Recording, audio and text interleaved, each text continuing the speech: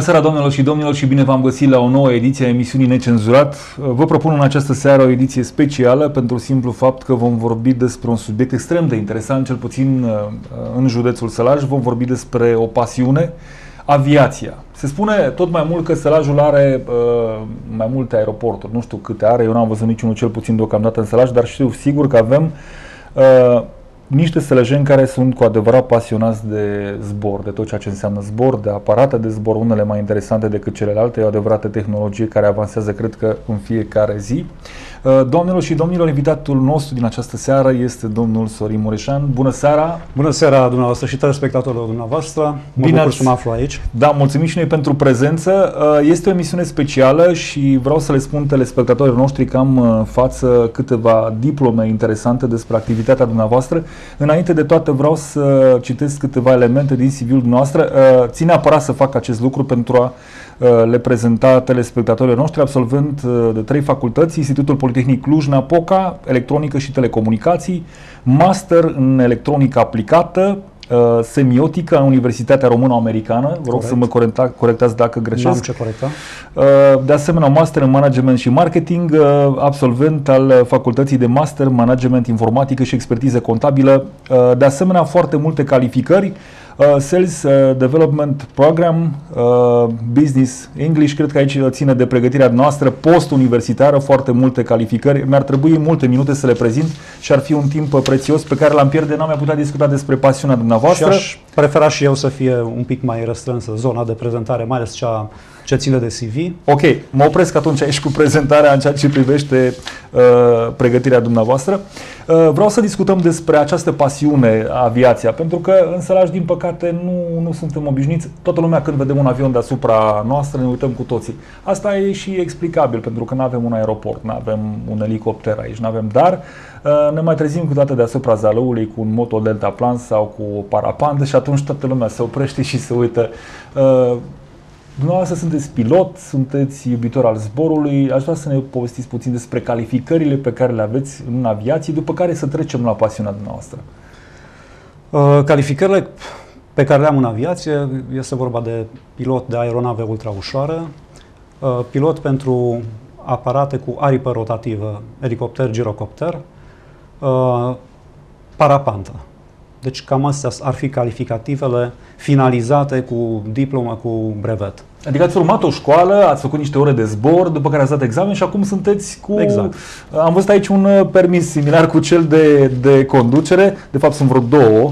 Da, am aici în față unul dintre ele care cred că vă conferă dreptul de a uh, pilota inclusiv pe teritoriul Statelor Unite ale Americii, din câte văd. E un brevet american, practic uh, școala care am urmat-o s-a desfășurat uh, în Europa. Dar e un uh, brevet recunoscut în Statele Unite și îmi dă dreptul să pilotez elicoptere și girocoptere. Bun, uh, vreau să facem și precizarea că sunteți proprietarul unui aparat de zbor ultra ușor, dacă nu mă înșel eu. În momentul de față acel aparat de zbor ultra ușor a fost uh, vândut, urmând ca în cursul săptămânii viitoare să achiziționeze un alt aparat. Bun, vom vorbi și despre acest lucru foarte interesant ce ne spuneți. Uh, haideți să discutăm despre pasiunea noastră despre uh, de zbor. Cum a apărut? Că, uh, mă gândesc că pasiunea asta nu vine așa dintr-o dată, ele au totuși un punct de plecare. Ei, uh, au un punct de plecare, practic există în orice pasiune un declic care te face să te atașezi și să-ți placă un anumit lucru. Uh, eu prima dată am văzut un zbor cu parapanda, care mi s-a părut fantastic, foarte interesant. Uh, persoana care zbura chiar uh, degaja acel sentiment de libertate totală și mi-am propus să încerc. Lucrurile n-au mers chiar așa de simplu, în sensul că am urmat o școală la Târgu Mureș, instructorul meu Jolt mi-a și vândut prima parapantă și am început să zbor în județul Sălaj, evident. Cum a fost, nu știu, primul zbor? Vă mai aduceți aminte de el? Primul zbor de obicei nu se uită, mai ales că a fost și un zbor în care ajutat puțin de condiții meteo, de noroc și probabil mai puțin de pregătire, pentru că eram chiar la început. Am reușit un uh, zbor destul de lung, să spun așa. La parapantă, practic, în aer nu stai foarte mult decât în niște condiții deosebite de vânt, temperatură, termodinamică, da, sunt elemente care cel puțin mie mi se par uh, necunoscute și e normal pentru că nu sunt specialist în domeniu. Uh, ați mai avut în familie, nu știu, uh, sau prieteni pasionați care să vă transmită oarecum acest microb? Că mă gândesc că e un adevărat microb, o boală, bine, cu ghilimele de, de rigoare. Nu, din păcate n-am avut nici prieteni, nici uh, în familie, dar uh, căutând, după ce am început să zbor destul de mult cu parapanta, am găsit în uh, Crazna un uh, pasionat, Shoni Vizagnoi, cu siguranță că ați auzit de el. Cine nu știe pe Alexandru Vizagnoi, da. Exact, care deține un aparat de zbor, un moto deltaplan și practic uh, mi-a întărit microbul sau m-a contaminat total, depinde cum vreți să o luați. A fost și momentul în care am urmat și o școală de zbor pentru moto deltaplan în Ungaria, dar pe care n-am finalizat-o. M-am gândit că e momentul să trec la manșă, uh, mi s-a părut mai interesant. Da, uh, nu știu acum, vreau să facem, uh, să discutăm despre fiecare în parte, nu știu, zborul cu parapanta, zborul cu moto deltaplanul și zborul cu aparat ultra ușor. Aș vrea să ne faceți o caracterizare, bine, poate vorbesc puțin la modul general. Fiecare cred, cred că îți conferă o senzație aparte în aer. Eu o, o singură dată am zburat cu motorul deltaplan și am avut o senzație, cu siguranță n-am să mai avut acea senzație când motorul a fost oprit și pilotul începea să râdă, după care mi-a explicat evident că se poate duce prin planare la sol. Da, a fost. Practic fiecare aparat are frumusețea lui, îți creează un set diferit de experiență. Uh, parapanta, nefiind motorizată, în primul rând te scapă de acel zgomot.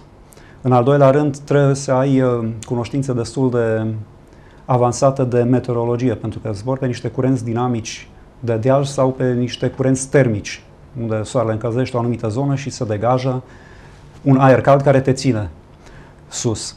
Problema parapantei e că nu odată mi s-a întâmplat să urc dealuri la înălțimi foarte mari, de unde credeam că am să zbor deosebit de frumos, vântul băta din altă parte și tot așa frumos am coborât dealul cu parapanta în spate. Deci e destul de frustrant Uh, nu știu, tipul ăsta de zbor. Sunt câteva locuri, rămâne puțin la parapantă, sunt anumite locuri aici în Sălaj care sunt căutate de pasionați ca noastră cu parapanta și... Eu am găsit câteva locuri, probabil că sunt și altele. Uh, e Cehei Măgura Șimleului, uh, Măgura Priei, sus pe vârf unde e și decopertat, uh, Piscuiul Ronei dincolo de Jibou, mai sunt câteva zone, nu știu delimitarea foarte bine, dar e dincolo de Surduc, pe partea dreaptă, cum se merge. Fiecare are particularități pe care trebuie să le cunoști, pe care trebuie să le folosești în uh, ajutorul tău, practic. Și cum, uh, zburați singur sau vă întâlniți cu prieteni, cunoștințe? Că mă gândesc că aveți o grămadă de cunoștințe în pasiunea asta. Pasiunile de obicei adună la un loc foarte mulți oameni, indiferent de ce pasiune vorbim. Acum, uh, discutăm de o pasiune care, vrem nu vrem, implică niște costuri. Prietenii mei, din păcate, cel puțin la nivel de parapante, nu au fost din Sălaj, pentru că un drum de Târgu Mureș, un drum chiar de Cluj, uh, implică niște costuri și poți întâlni aceeași problemă. Mergi până acolo, constați că vremea e total prielnică sau neprielnică și vii înapoi. Tot așa cum ai mers. Sau chiar mai rău, destul de demoralizat, așa cu coada între picioare, spun destul de plastic. Bun, da, vă rog. Vis-a-vis de parapantă. În general, zborul cu parapanta se bazează doar pe forța musculară pe partea de decolare, unde trebuie să o ridici deasupra ta. Cât e de grea, apropo? Nu e așa de grea. Tot echipamentul are undeva între 25-30 de kg, depinde ce ai în dotare. Pentru că parapanta poate fi dotată inclusiv cu parașută de rezervă aia implică deja dublarea greutății. Dacă Seleta... se întâmplă ceva cu parapanta, vine, mă gândesc Da, eu. se declanșează, se aruncă acea parașută și te aduce într-o relativă siguranță la sol. Vom vorbi despre siguranță și despre cât de mare e pericolul la un moment dat în cadrul acestei emisiuni. Sunt foarte interesant de acest punct, dar prima dată să vedem partea frumoasă a locurilor. Bun, uh, nu știu, să trecem la partea motorizată, Moto Delta Planul. E mai complicat aici, e mai... Moto Delta Planul deja merge spre o aripă rigidă, în sensul că are o structură metalică pe care este așezată aripa, astfel încât, uh, spre deosebire de parapantă, unde o pală de vânt sau o rafală de vânt se poate închide și atunci ai cam încurcat-o, uh, aici, strând pe acea structură metalică, acest risc nu există. În schimb, există riscul la rafală de răsturnări, de scoatere de pe poziție, de... Pe vreme grea ai destul de mult de muncit. Poate că ar fi interesant uh, în zona de Moto Delta să îl chemați și pe Shani la da, ar fi chiar interesant. o emisiune să vă explice cam cum stau lucrurile în domeniu. Poate facem o emisiune toți trei să discutăm puțin. Uh, oricum, așa cum vă spuneam și înainte de emisiune, am avut parte de vreo un sfert de oră cu Moto Delta Planul și vedeam pe pilot uh, că nu, nu înaintam cu aparatul, ci din potrivă îl menținea pe loc, în lateral, stânga-dreapta, cu ajutorul curenților de aer. Senzația a fost una uh, pentru un necunoscător extraordinară. Bine, cu o frică pe măsură, dar a fost uh, ceva, ceva deosebit. Bun, uh, revenim acum la aparatele de zbor uh, și așa cum spuneam și la începutul acestei emisiuni, ați fost proprietarul unui aparat de zbor uh, ultra ușor. Care e diferența dintre acest aparat și unul, nu știu, clasic, normal? Uh, aparatul de zbor pe care, sincer, l-am construit din kit. Deci l-ați cumpărat pe bucăți? Da, a fost cumpărate bucăți de fibră de carbon, asamblate cu rășini epoxitice speciale. S-a dat acea formă de aripă, de cabină. Bun, dar l-ați construit singur, să înțeleg. Da, uneori ajutat cu mici ajutoare uneori. Nu știu, sunt, sunt etape în care e nevoie de două persoane ca să țină o structură. Bun, da, e complicat să construiești o jucărie din, din uh, bucăți pentru copii, dar aminte să construiești un avion. Uh, ce înseamnă un avion ca dimensiuni? 6,20 m uh, din vârful conului elicii până în coadă, 9,40 m anvergura aripilor. Bun, ne spuneați că l-ați vândut și că urmează o nouă achiziție. E secret, vă pot întreba ce ar urma sau cel la ce v-ați gândit, măcar așa sugestiv. A, nu, rațiunile sunt uh, în primul rând de condiții locale, mai exact. Nu, nu avem în zonă un uh, adevărat aerodrom, pista din Crazna e destul de scurtă și nu foarte dreaptă, iar cu tipul ăsta de avion, fiecare aterizare poate deveni riscantă, în sensul că avionul are nevoie de pistă mult mai lungă, fiind de viteză mare. Avionul care doresc să-l achiziționez decolează și aterizează pe mai puțin de jumătate din uh, distanța necesară celuilalt. Uh, asta e una din rațiunile puternice pentru care am făcut uh, această schimbare, această modificare. Este un avion cu un singur loc sau nu, are... un avion cu două locuri cot a cot. Ce înseamnă asta, ca să înțeleagă și telespectatorii noștri? Adică unul lângă altul. Unul lângă altul, bun. Mai există amplasarea scaunelor unul în spatele celuilalt.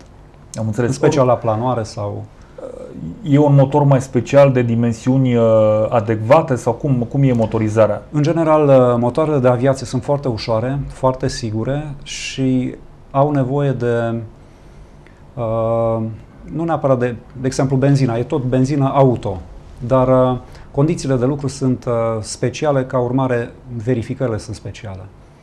Uh, motoriz- motorizația, de obicei, la noi în țară se folosește Rotax, o firmă austriacă care produce aceste motoare, sunt motoare de aviație, deci diferă și prin modul de realizare a lor. Practic totul e dublat. Uh, partea de alimentare cu combustibil, partea de aprindere, partea electronică, tot, tot, tot e dublat. Există două astfel încât dacă o parte cade, funcționează cealaltă. Da, deci oricum sunt elemente de siguranță care uh, conferă, uh, ne-ar scăpa oarecum de acel sentiment de frică. Da, să... practic există totul dublat, oferind o siguranță mult mai mare în funcționare. Oricum, uh, din câte știu, motoarele Rotax, cel puțin la noi în țară, nu s-a întâmplat, repet, din ce știu eu, ca vreunul să se oprească în zbor din motive obiective. Bun, nu v-am întrebat, acest avion îl aduceți ca și pe celălalt tot uh, un fel de puzzle pe bucăți și nu. îl faceți în curtea casei? Nu, nu, de data asta va fi un uh, avion complet asamblat, foarte interesant. Bun. Întreg. Data uh, de zbor. Ce veți face cu el? Aveți de gând să faceți bani cu el? Aveți de gând să îl puneți în folosul pasiunii noastre pentru a vă duce în altul cerului sau și pentru prieten, pentru... Deci, că mă, mă, scuze, vă întrerup, mă gândesc că e o investiție destul de mare, apreciabilă. Da, din păcate e o investiție, e un hobby foarte scump, dar uh, vreau să-l păstrez la nivel de hobby, adică nu mă gândesc la scopuri comerciale, nu mă gândesc să fac bani, ci pentru mine, prietenii mei și alți doritori de zbor, la care mă gândesc într-un timp oarecare să le injectez acel, cum am spus, microb. Da, boală, hai să spunem, da, microb, boală, tot acolo e. Uh, mă mănâncă limba și uh, vreau să vă întreb neapărat, dacă știți cumva, poate o întrebare absurdă, știți cumva cam câte ore ați petrecut în zbor de-a lungul anilor? Să facem un total. Că sunteți și matematician și știu că unul bun. Uh, e greu să spun sau să știu Așadar, oricum, uh, adunând parapantă și tot ce, ce a fost, e vorba de sute de ore, probabil că merge undeva către mie. Uh. Ore de zbor, ore de stat sus. Pentru că, deși pare ciudat, uh, contorizarea orelor, mai ales când ai nevoie pentru licență un anumit ore minim de zbor anual, se realizează destul de greu, adică pregătirea durează destul de mult, de mult uh, până în momentul în care te ridici efectiv de la sol, e un timp mult mai mult decât cel petrecut în aer. Astfel că petreci pentru, știu, o oră de zbor, de multe ori cu pregătire, cu tot 3-4 ore. Da, uh, nu v-am întrebat de aceste școli de pilotaj. Mă gândesc că implică și foarte multă teorie, nu doar practică. Îmi spuneați de, de cunoștințe despre condițiile meteo, despre tot felul de lucruri. Da, există tot felul de discipline care sunt uh, utilizate în aviație. Una din ele, într-adevăr, e meteorologia, în care trebuie să știi condiții meteo, norii, de exemplu, nori în formare, care pot să degenereze în furtună când e interzis să zbori. Uh, trebuie să recunoști norii de vreme bună și de vreme rea. Trebuie să știi, mai ales în zborul liber, aici discutăm de parapantă, uh, un zbor care îți oferă o ascendență puternică, deci... Vă văd înseamnă... bine când vorbiți de parapantă. E mai aproape de inima noastră parapanta decât celelalte aparate de zbor? Uh, creează o altă senzație. E senzația de libertate totală când nu depinzi nici de motorul din spate, care, sincer, un pic te deranjează. Nici de... Nu ai pe nimeni lângă tine. Ești tu, tu cu Dumnezeu acolo sus. Chiar asta vreau să vă întreb, nu știu, cum vă simțiți acolo? Eu m-am simțit destul de inconfortabil, vă spun sincer. Uh, am și o, o frică oarecum de, de zbor, dar... Mă simt foarte bine, îmi doresc să ajung acolo sus, dar recunosc, nu odată s-a întâmplat să-mi fie frică mai ales în uh, fazele inițiale, când am fost uh, cu Shani prima dată cu Moto Delta Planul la Nautica Ninja, unde uh, am început amândoi cursul, Shani l-a și terminat. La un moment dat, undeva pe la 1300-1500 de metri, mă întrebam, eu ce caut aici? Oricum, uh, cred că vă dați seama cât de importantă este viața în momentul în care pășiți pe pământ. Nu? Mă gândesc, sau vă simțiți foarte bine și în aer? Viața trebuie să aibă și condimente. Pentru mine zborul e unul din condimentele puternice. Ați participat de-a lungul anilor, nu știu, la competiții, la concursuri în țară, în străinătate? Uh, mai puțin în țară. Dacă ați văzut, uh, brevetele mele sunt uh, din alte țări. Uh, în străinătate am participat, îmi place să merg, să văd, chiar dacă nu particip neapărat ca și competitor, dar să zbor, să Cam văd ați zburat, nu știu, dați-ne niște picanterii, că știu că aveți acolo în tolbă, ați văzut multe lucruri de sus. Uneori poate că nici n-ați vrut să le vedeți, dar totuși le-ați văzut. Păi, ce să știu să spun? Există zona, de exemplu, de parapantă, în care au fost niște zboruri fantastice undeva în uh, zona Corunca, lângă Târgu Mureș. Uh, în care eu ca și începător, repet, datorită unor condiții prielnice și un noroc, unui noroc fantastic, dădeam lecții celor care aveau ani buni de parapantă, în sensul că zborul meu era mai de uh, depărtare, înălțimea atinsă era mai mare, uh, aveam o parapantă școală leneșă, puturoasă, care practic nimeni nu s-a aștepta să se întâmple ceva cu ea. Iar cei care băgaseră mii de euro în uh, aparate de zbor gen parapantă de performanță, de competiție, rămâneau undeva în spate. Da. Repet, nu se datorează abilităților mele, ci pur și simplu pur și unui simplu. noroc chiar. Ați avut și uh, parte de momente mai puțin fericite în aer, uh, incidente. Au fost și cazuri când s-au trezit uh, cei care mergeau cu parapanta sau nu știu, cu parașuta în lanul de porum sau printre animale. Uh, da, am avut la Cehei o experiență în care, mă rog, datorită unor condiții termice a trebuit să aterizez un om cosea frumos, lucerna, avea calul priponit lângă și când am venit eu cu dita mai parapanta, mai ales de jos se vede destul de mare, calul s-a speriat și a dat-o la fugă. Iar uh, omul striga la mine, hai numai tu jos. Deci senzația a fost destul de stranie. Cred că aterizarea a fost una interesantă, omul cu coasta la pământ și, da, un mod plăcut de asta. Sincer, n-am avut curajul să aterizez chiar lângă el, am ales un deal unde aterizarea a fost mai dură, dar din punctul meu de vedere mai sigură. Da, corect. Când coasta e la depărtare, toate lucrurile, coasta e bună la iarbă, în rest la nimic altceva. Uh, punct. Bun, vreau să ne continuăm uh, discuțiile noastre uh, vis-a-vis de zborul cu aceste avioane ultra ușoare. Uh, aici cred că e cu totul alt capitol. Așa cum da. spunea și înainte de emisiune, e acel spațiu închis. E... Discutăm tot de zbor, dar uh, e vorba de o cabină închisă, chit că există și avioane cu cabină deschisă. Dacă ați văzut filme din al doilea război mondial cu casca de piele pe cap, exact. ochelarii respectiv și practic în aer. Dar uh, la avioanele moderne, practic cabina e închisă, uh, ai confort, inclusiv căldură. Clima nu se pune pentru că deja de la 800-1000 de metri în sus, chiar dacă jos sunt 40 de grade, sus scade temperatura destul de drastic. da, ar fi interesant să fie climă pe, pe astfel de aparate. Uh, e un zbor mai confortabil, mai... Uh, E mai confortabil, e mai sigur, dispui de o motorizare care practic te ține, te scoate din impas. Uh, Deja poți să-ți planifici niște zboruri uh, de distanță, în sensul că mergi să-ți vizitezi un prieten, de exemplu, la 200, 300, 500 de kilometri.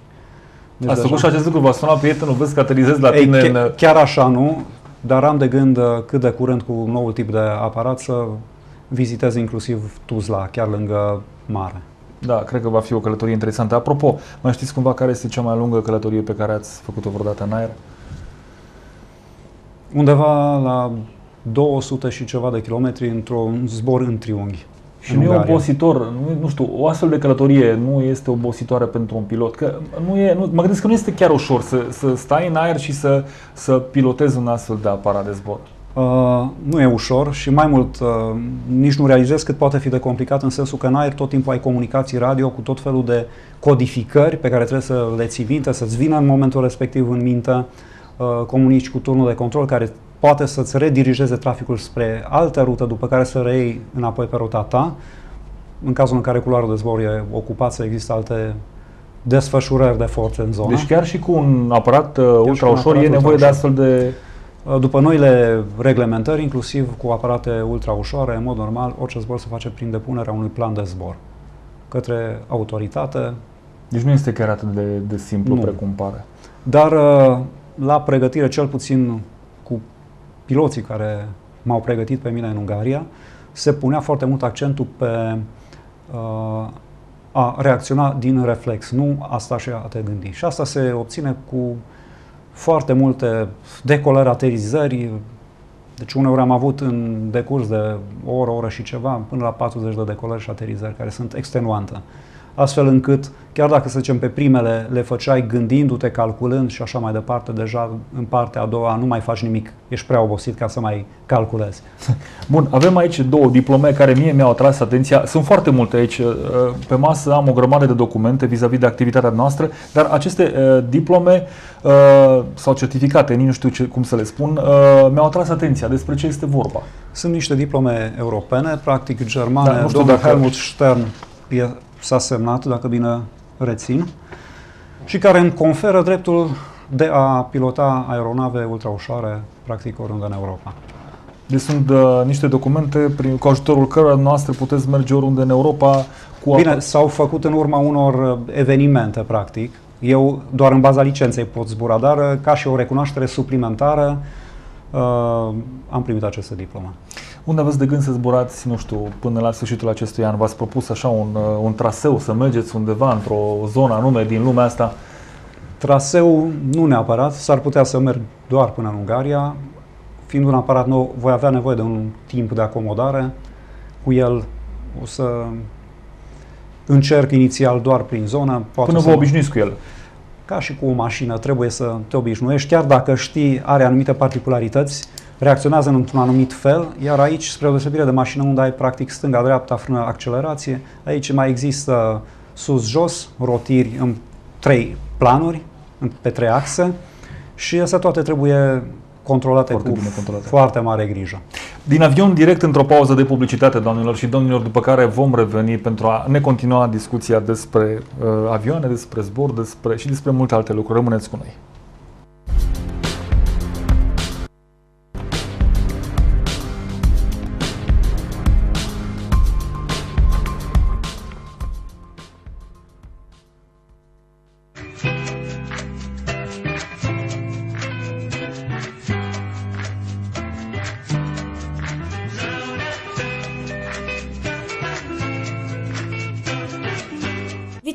Vital Răup Industrie SRL produce și comercializează frânghii, sfori, parâme și plase. Sunt Luciano Vitale, top manager. Bună ziua, sunt Luciano Vitale, top manager al Corderia Vitale SNC cu sediul în Italia, firmă producătoare de sfori.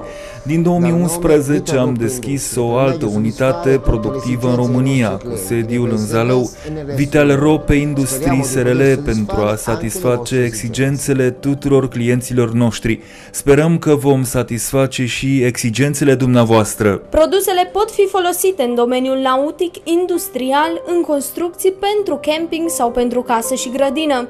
Vital Răup, Industrie SRL, specialistul în sfori, frânghii, parâme și plase. Calitate superioară la prețuri atractive. Ne găsiți în Zalău, pe bulevardul Mihai Viteazul, numărul 62, în curte la fosta ICRA. Telefon 0260 620 100 sau la e-mail vitalerăup.aron.clicknet.ro Vital Răup, Industrie SRL, caută distribuitori.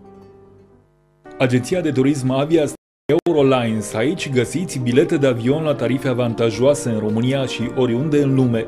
Bilete autocar Eurolines, oferte speciale pentru vacanțe, litoral România, Bulgaria, Turcia, Grecia, Spania, Croația și multe alte destinații. Munte, Balneo România, programe sociale de odihnă și tratament în stațiunile balneare, tarife de la 330 de lei per persoană pentru sejur de 7 nopți, circuite oriunde în Europa, croaziere la tarife promoționale. Adresa noastră, Zalău, strada Crișani, numărul 4, bloc T159, scara F, telefon 0260 615 315 0731 378 339, mes Avias Transilvania Turism at yahoo.com, www.aviastransilvania.ro și e-mail office at aviastransilvania.ro.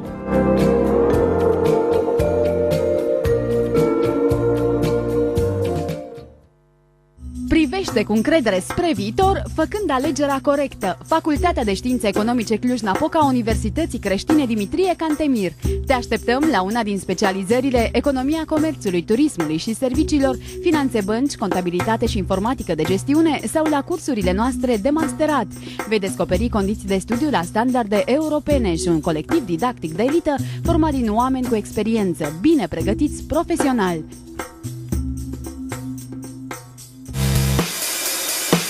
How do you describe the feeling? Activ Plața Mall Zalău este locul ideal pentru cumpărături și distracție. Vrei să petreci o zi de vis cu prietenii ori să-i faci o surpriză copilului tău? Cauți un cadou pentru cineva drag? Te-ai plictisit de garderoba ta și dorești să o schimbi? Profită de reducerile Verin între 30 și 50% la încălțăminte, articole sportive, haine casual și imaginea ta va fi altfel. Vino la activ Plața Mall și vei rămâne și cu bani de vacanță. Vă așteptăm de luni până vineri între orele 9 și 20 și sâmbătă între orele 9 și 19. Ne găsiți pe strada Unirii numărul 13, Piața Centrală. Activ Plața Mall, destinația ta de shopping din orașul tău.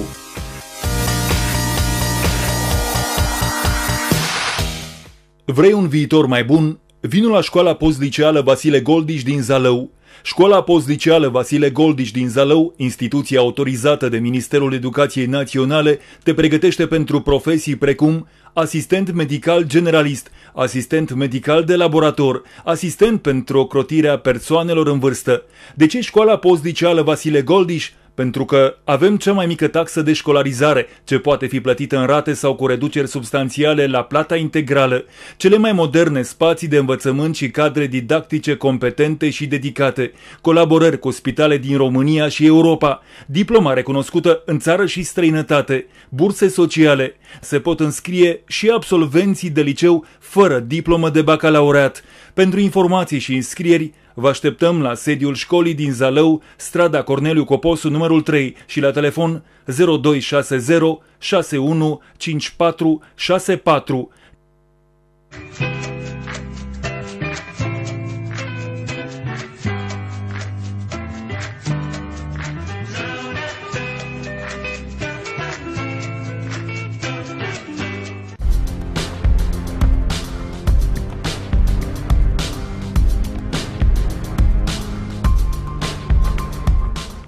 După câteva minute în care am poposit uh, la sol uh, din aparatul de zbor și din aer, iată că ajungem din nou să vorbim despre aviație, despre aparate de zbor. Uh, Vă reamintesc pentru cei dintre dumneavoastră care ați deschis mai târziu aparatele uh, că invitatul nostru în această seară este domnul Sorin Mureșan. Uh, Nici nu știu cum uh, ar trebui să-l uh, cataloghez. Este pasionat de zbor, este un uh, matematician, inginer, a muncit în administrație. Bun, uh, ne referim în Poate seara că e asta... suficient E deocamdată. suficient. Bun. Uh, În seara asta vorbim doar despre pasiuni. Uh, Data viitoare vom vorbi și despre economie, despre alte lucruri uh, la fel de interesante. Uh, Mi-ați atras atenția în pauza de publicitate cu o chestiune care ține de un viitor proiect al dumneavoastră vis-a-vis de un turism, hai să-i spunem, aerian, cu prezentarea sălajului din avion. Mai exact e vorba de o promovare a județului nostru utilizând uh, un avion. Uh, avem o grămadă de puncte care ar putea deveni atracții turistice. Din păcate, în momentul de față, eu nu știu să existe vreo atracție turistică adevărată în Sălaj. Uh, cum s-ar derula acest proiect? E vorba de un uh, survol al diverselor puncte de atracție. Pot da exemple, Mănăstirea de la Bic, Poiana Narciselor, uh, Grădina Zmeilor. Întâi uh, survolate de către acest avion care în timpul zborului s-ar spune o poveste, după care s-ar uh, continua filmările la sol, unde povestea practic ar lua amploare. Adică s-ar intra în detalii, cine, ce, cum, uh, care ar fi modalitățile, ne uitând uh, promovarea ei prin.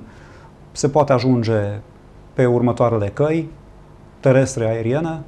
Acum aeriene mai puțin, având în vedere că noi în uh, Sălaj, exceptând aerodromul de la Crazna, nu prea avem locații. Ați atins un punct, să știți, foarte sensibil și vreau să rămânem puțin uh, la acest uh, aspect.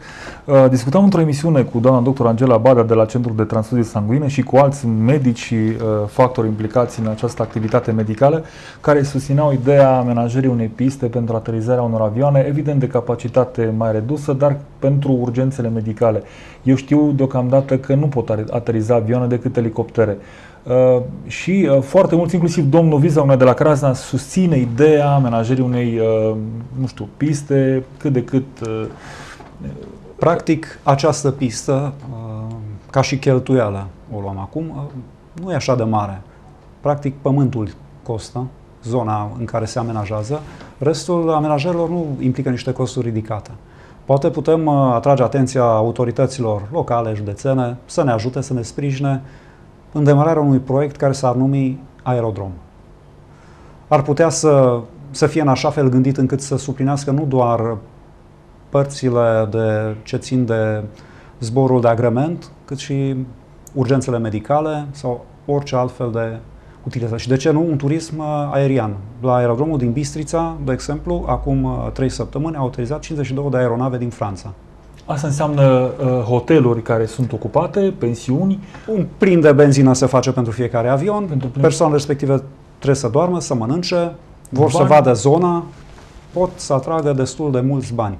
bani pentru comunitățile locale. Da, este o idee foarte interesantă și ne dăm seama de lipsa unei astfel de uh, investiții abia în momentul în care ne confruntăm cu probleme. Avem o urgență medicală, avem sau alte. Se întâmplă. Asta este. Avem, auzim din ce în ce mai mult ambulanțele, auzim, face parte până la urmă din viața noastră. Uh, nu cred că presupune investiție foarte mare, așa cum spunea și uh, noastră, mai degrabă uh, este, avem nevoie de teren. E nevoie de un teren uh, în suprafață mare, cam care ar fi Deci, în general, o pistă pentru avioane utilitare, aici discutăm nu doar de cele de agrement, uh, e necesar de o pistă de 6-800 de metri, lungime, lățime 30, 50, 70 de metri, depinde și ce tip de avioane vor ateriza pe ea. Ea trebuie omologată undeva, există o autoritate care... Uh, Există mai multe tipuri de piste. Aici discutăm de uh, pistă omologată, pentru că dacă e nevoie de aviație utilitară, e nevoie să fie utilizat, uh, utili, uh, dacă discutăm de av- aviația utilitară, e nevoie să fie omologată.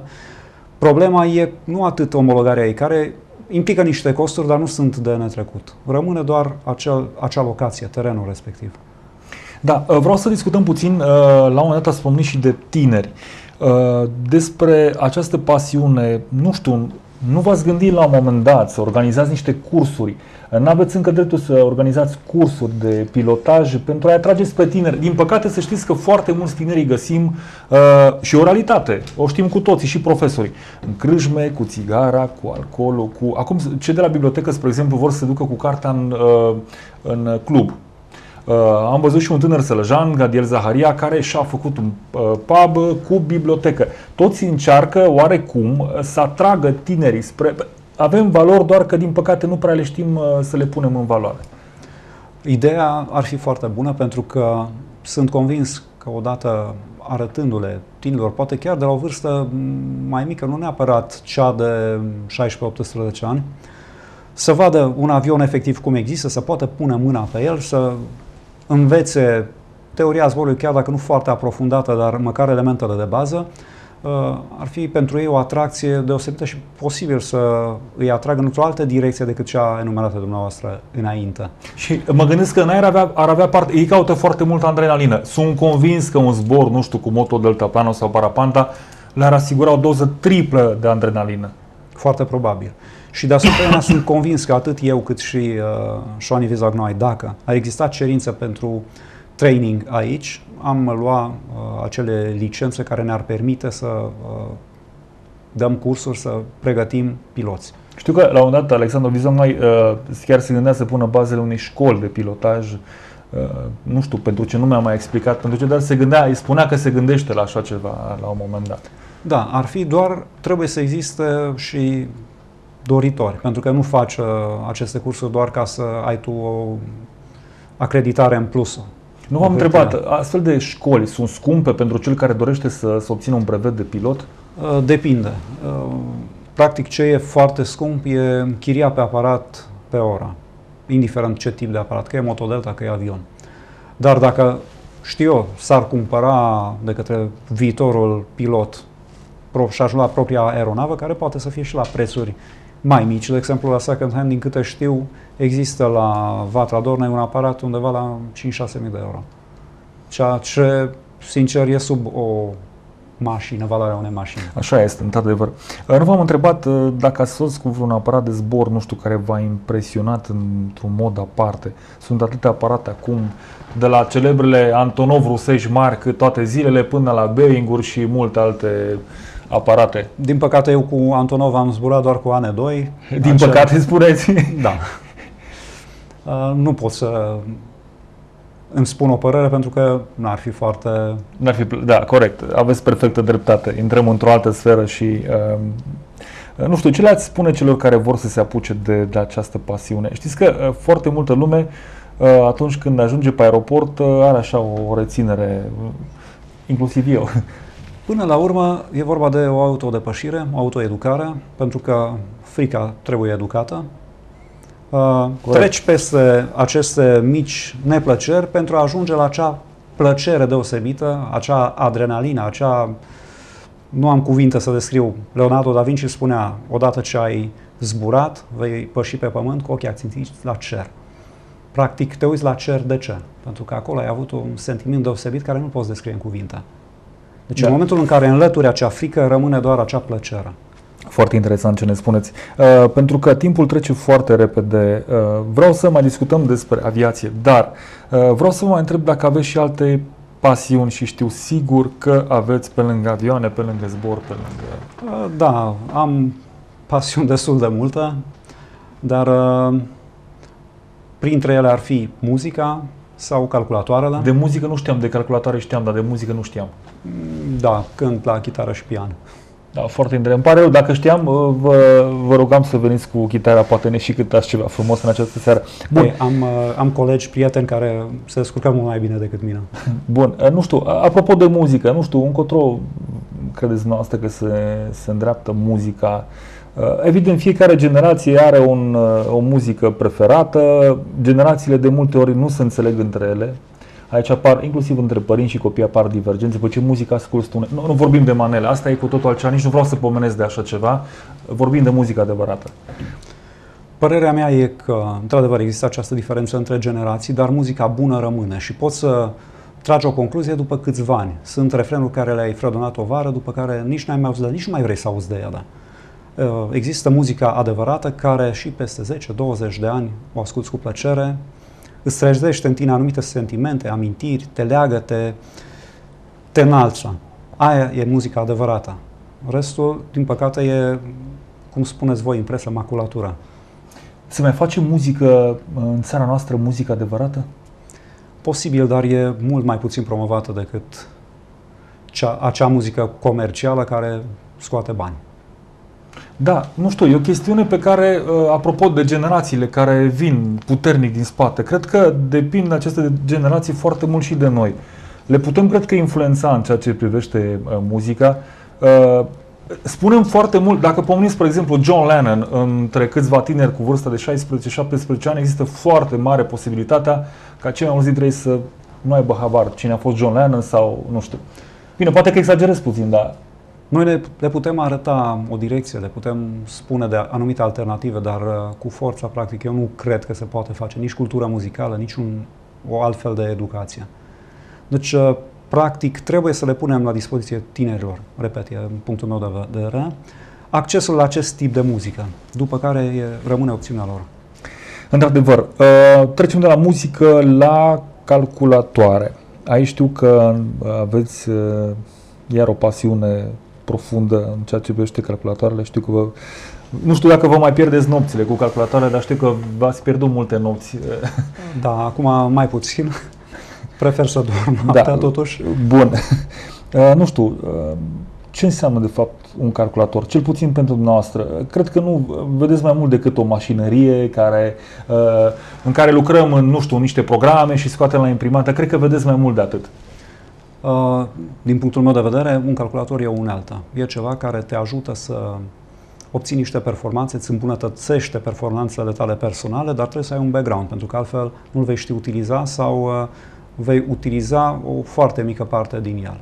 Ceea ce văd eu acum, cel puțin la generațiile mai tinere, e o utilizare relativ superficială, adică în afară de Messenger, de Facebook, de, mă rog, rețele de socializare, să spunem, uh, nu prea se intră în profunzime, iar eu cred că cu ajutorul calculatoarelor se pot obține inclusiv joburi bune, uh, să se aducă profit plus valoare asupra unei munci pe care altfel o consider muncă brută. Și uh, chiar pot să existe persoane care să atingă performanțe foarte înalte în domeniu. Aici discutăm atât de pe partea de hardware, software, nu am intrat în detalii. Dar uh, se pot obține f- rezultate foarte bune. Pe de altă parte, spre exemplu, văd în școli, am fost zile trecute și am văzut uh, niște școli foarte frumoase la sat. În sate uh, care la prima vedere ar fi uitate de lume în județul Sălaj, dar am rămas impresionat și o spun public uh, că am văzut niște școli foarte bine dotate, începând de la sisteme de încălzire, de la mobilier școlar, de la material didactic și până la computere de ultimă generație. Acum, întrebarea mea este, nu știu, uh, ce ar trebui să facă un profesor, sau nu știu, nu știu ce pot face acei profesori cu acele calculatoare astfel încât să le fie copiilor de folos. Sper că acele calculatoare să nu ajungă doar uh, o unealtă pentru jocuri, pentru rețele de socializare, pentru că atunci nu cred că am făcut nimic. Aici depinde de abilitatea fiecărui dascăl de a atrage copiii în direcția uh, aprofundării studiului asupra calculatoarelor, pentru că uh, cu un, știu eu, un messenger, cu un Facebook, nu știu dacă te angajează cineva, în schimb cu cunoștințe vis-a-vis de o operare pe calculator, un calcul tabelar, chiar programare, mergând un pic mai departe, sau uh, media design, realizare de pagini web, deja e un job. Și un job bine plătit, mai nou și la noi.